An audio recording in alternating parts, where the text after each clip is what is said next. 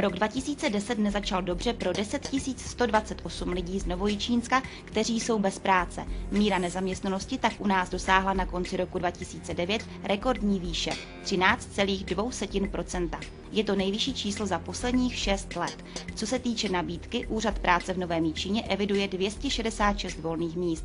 Na jedno místo tak připadne 37 žadatelů.